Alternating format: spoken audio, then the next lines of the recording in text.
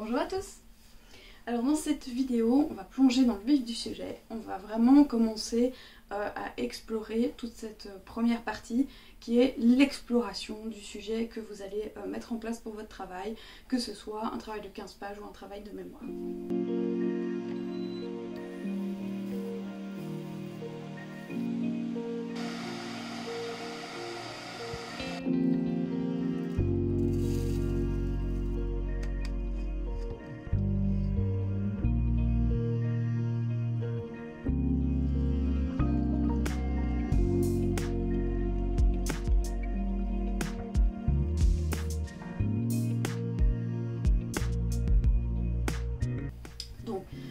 Premier, vous devez euh, délimiter votre sujet.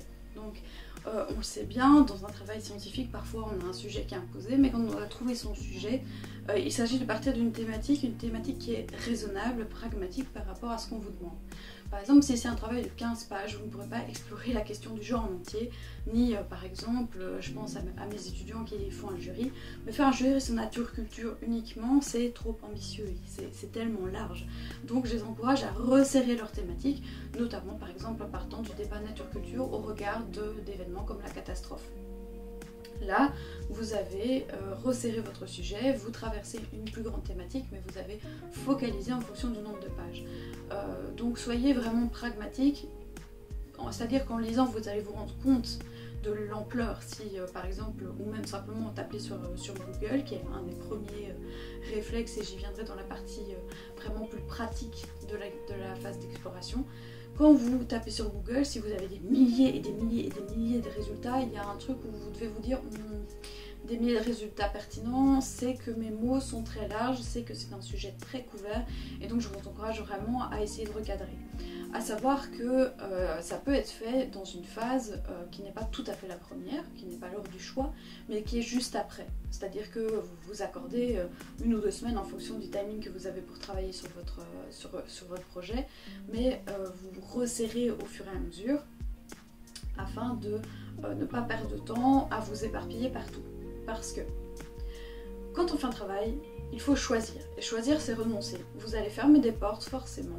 Vous allez les fermer en sachant très bien qu'elles existent et en ayant un argumentaire scientifique là derrière, en disant bah, que vous vous êtes focalisé sur telle thématique et sur telle focale, et que la focale ici bah, permettrait de comprendre une autre réalité, mais c'est pas celle que vous cherchez, par exemple. Ou que euh, ce débat a été exclu par tel auteur parce qu'il juge que ce n'est pas pertinent et vous rejoignez son avis. Donc à chaque fois que vous allez renoncer, n'oubliez pas de d'y renoncer, pas seulement parce que ça ne vous intéresse pas, mais parce que vous avez un argumentaire scientifique là derrière. Je pense notamment à mes étudiants de, jury en anthropologie à, l'UCL, ben, il faut qu'ils aient euh, un bon argumentaire derrière. Parfois, pour certains travaux, vous êtes plutôt libre et donc euh, vous, pouvez clairement euh, ne, pas, ne pas avoir tout cet appareillage argumentatif scientifique derrière, mais en général, c'est quand même mieux. Donc, euh, choisir c'est renoncer, donc retenez ça. Je sais c'est frustrant, je suis passée par là et c'est vraiment quelque chose qui euh, bah, personnellement a été un peu embêtant.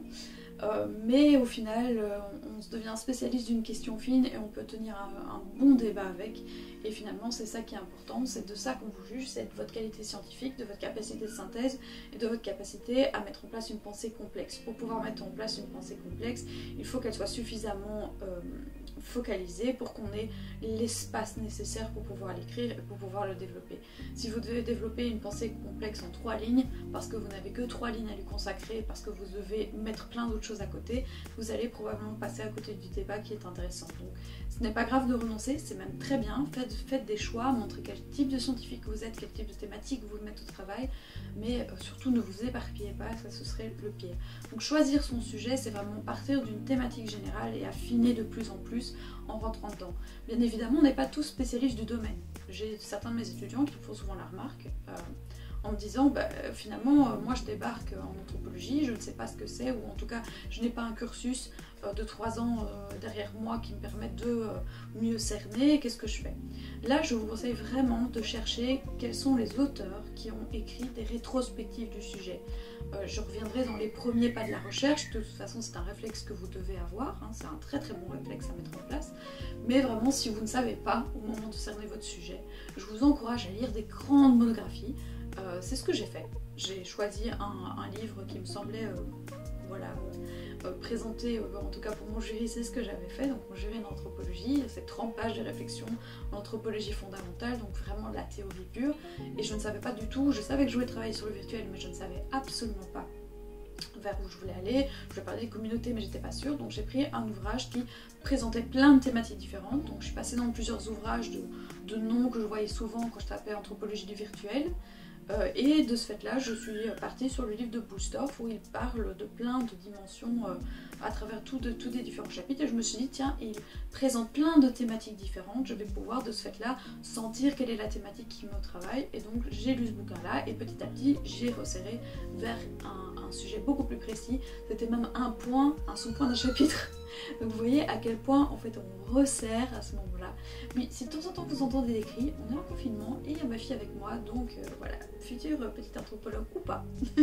Mais euh, si vous l'entendez de temps en temps, c'est ma fille qui s'essaye à savoir. Comme je vous l'ai dit, on est euh, à la maison, on est relax et on est là pour discuter des sujets.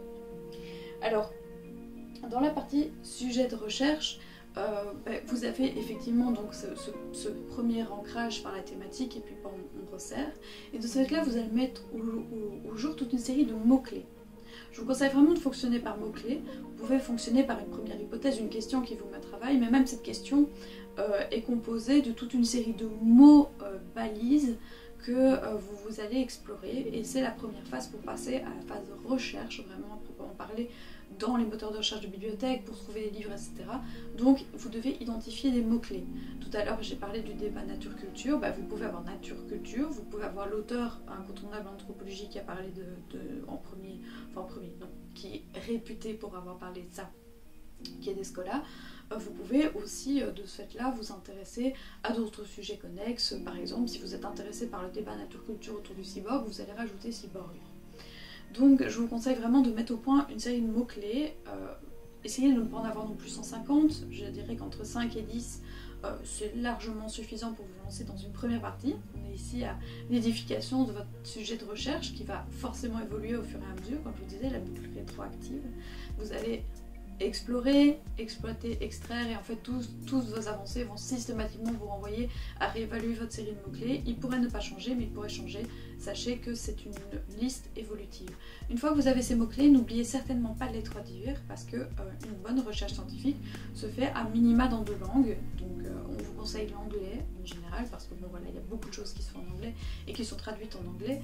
Mais euh, si vous êtes à l'aise dans d'autres langues, n'hésitez absolument pas à le faire. Il y a par exemple des pans hyper intéressants d'anthropologie du côté allemand.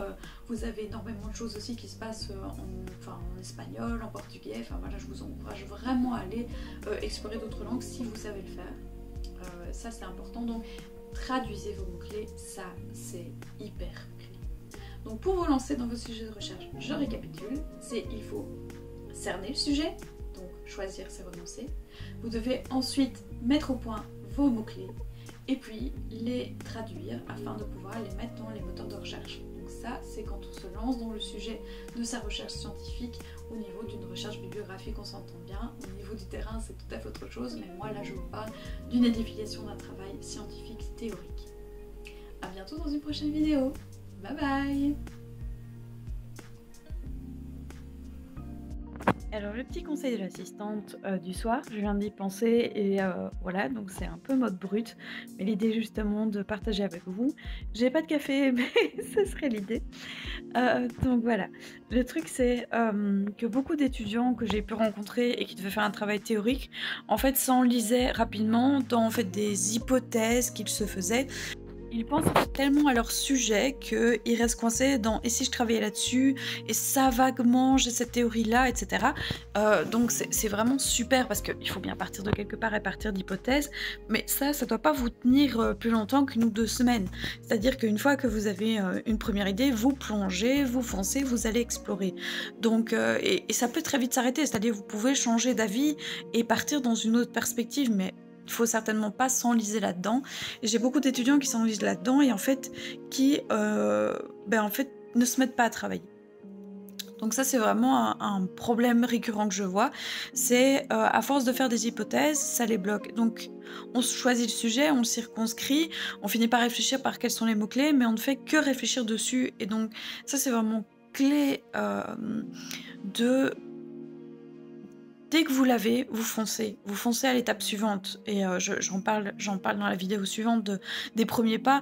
Mais allez au moins dans ces premiers pas parce que ça va vous mettre, ça va vous booster et vous allez pouvoir vraiment prendre en âme et conscience euh, une décision quant au sujet. Est-ce que c'est vraiment le bon? Est-ce que c'est vraiment euh, ce qui vous tente? Et commencer plus encore à, explorer la thématique. Parce que Souvent, on reste coincé parce que ben, on procrastine, on ne sait pas par où commencer, il faut bien commencer quelque part. Et dans les vidéos suivantes, je vous parle justement des premiers pas pour se lancer et je trouve que c'est vraiment important. Euh, donc vraiment, ne procrastinez pas pendant une ou deux semaines. Dès que vous avez votre thématique, votre sujet, vous lancez les premiers pas et après par la suite vous approfondissez de plus en plus avec des recherches de plus en plus pointues mais c'est important de ne pas rester coincé en fait sur, euh, sur euh, ces premières impressions et ces hypothèses. Et si je travaillais là-dessus, et si je travaillais, j'ai des étudiants qui parfois restent pendant des mois, c'est un travail d'une année que je suis dans, dans, le cours auquel je pense, euh, le jury, pour mes études de master. Euh, ils restent coincés pendant des mois là-dessus. Et en fait ben, ça les aide pas à progresser dans leur, dans leur réflexion, ils doivent faire tout assez vite ce qui est vraiment euh, le pire service que vous, pouvez vous rendre. Donc euh, voilà. Euh, pour certains étudiants, ce que je proposais, c'est finalement de faire un planning, de se dire, ben voilà, par exemple, là, pour moi, comme je le disais, ça doit tenir une ou deux semaines, les questions de, tiens, thématique, est-ce que je resserre, etc. Mais cerner sa thématique, limite, approfondir sa thématique, ça peut venir par la suite, surtout si on ne connaît pas bien le sujet et qu'on a besoin de, de première lecture. Mais de ce fait-là, il faut lire. Euh, il faut vraiment s'y mettre euh, et euh, explorer ce que les auteurs ont dit, ou du moins bah, les, constructions de chapitres, etc., et les résumés autour. Donc c'est pour ça que je parle des premiers pas. Les premiers pas vont vous aider déjà à, affiner le sujet.